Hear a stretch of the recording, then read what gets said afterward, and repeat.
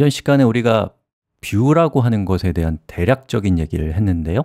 이번 시간엔 그 view에 대해서 조금 더 세부적인 소개를 좀 해드리겠습니다. 자, 지금 보고 계신 이 화면은 grid view예요. grid view는 표를 표현합니다. 자, 그런데 여러분이 다른 사람에게 표를 보여주고 싶긴 한데 여기 있는 표 중에서 어떤 특정한 어, 열과 특정한 행만 보여주고 싶을 수도 있겠죠 자, 그런 경우에는 어떻게 하면 될까? 라는 것을 소개를 해드리겠습니다. 자, 여기 있는 grid view를 클릭하면 여기 밑에 보면 grid가 또 있어요. 그럼 쟤를 클릭하면 어떻게 될까요? 클릭. 그러면 grid 2라는 게 생깁니다. 그럼 제가 여기다가 공개용 업, 업무라고 이렇게 어, 추가를 했어요. 그리고 클릭해 보면 보시는 것처럼 기존의 그리드 뷰가 여기 있고 제가 추가한 그리드 뷰가 공개용 업무라는 이름으로 생성이 됐습니다. 자, 이 상태에서 제가 이 작업 근거는 외부에 노출하고 싶지 않을 수도 있죠. 자, 그럴 때는 여기에 보면은 hide field라고 하는 부분이 있습니다. 클릭.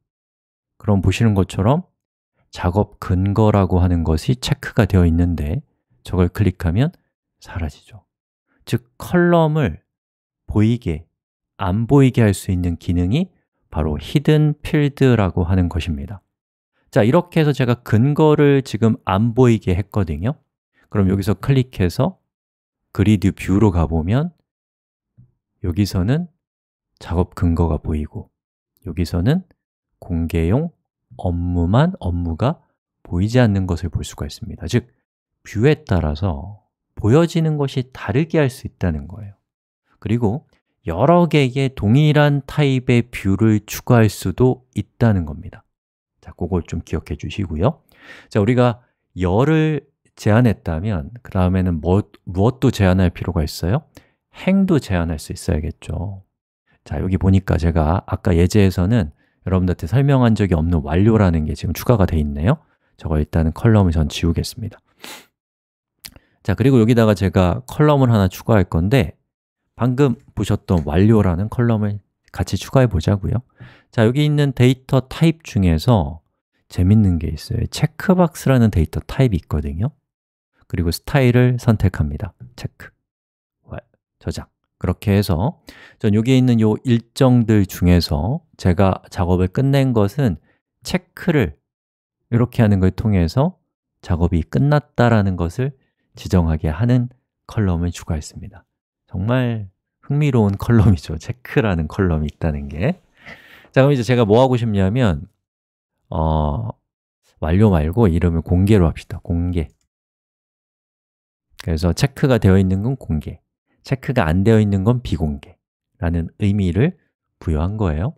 자, 그럼 제가 하고 싶은 것은 공개형 업무에는 체크가 되어 있는 행들만 노출되게 하고 싶은 거예요.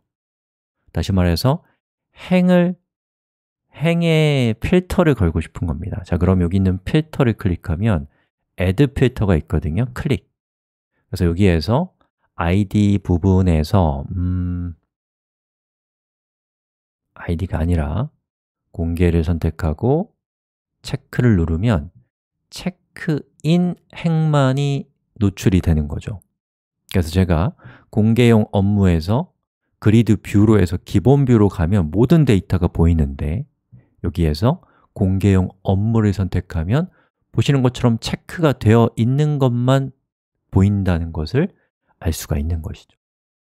자, 그러면 이 상태에서 제가 여기 있는 Share View를 클릭하고 거기에서 Create Shareable Grid View Link를 클릭하면 지금 우리가 보고 있는 공개용 업무라고 하는 저 뷰에 대한 공개 링크가 생성이 됩니다.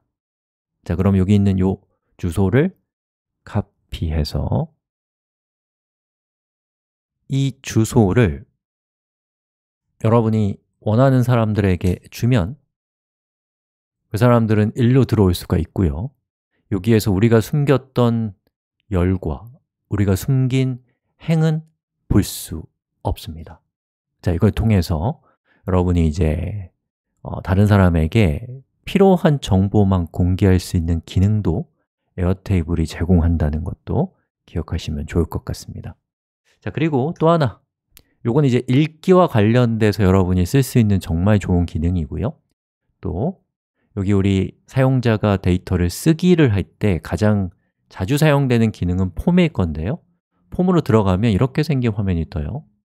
자, 그럼 거기에서 여러분이 만약에 사용자들이 음, 작업 근거는 입력하지 못하게 하고 싶다. 그럼 이걸 이렇게 드래그해서 음, 이렇게 드래그 해가지고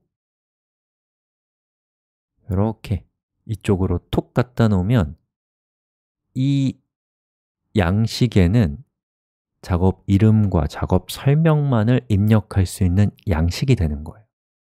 그리고 사용자가 반드시 작업 이름을 입력하게 하고 싶다. 그럼 required를 체크하면 이걸 입력해야지만 전송이 돼요. 그리고 작업 설명은 required를 하지 않게 되면 이 사람은 작업 설명은 자기가 넣고 싶으면 넣고 넣기 싫으면 안 넣어도 되는 그런 행이 되는 겁니다.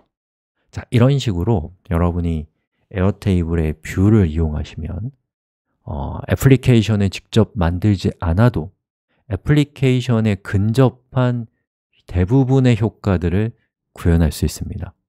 이런 방법을 통해서 일단은 일을 하는 거예요. 그리고 일을 하다 보면 이것만으로는 되지 않는 것들이 분명히 생기거든요. 그때 여러분이 좀 더 안심하고 좀 더 성공할 확률을 높여서 애플리케이션을 직접 구현하거나 아니면 전문가들을 통해서 비즈니스를 잘 표현할 수 있는 앱을 개발하면 훨씬 더 성공률이 높을 것이라는 것이 저의 생각입니다. 자, 이렇게 해서 에어테이블의 뷰에 대한 얘기는 여기까지 하겠습니다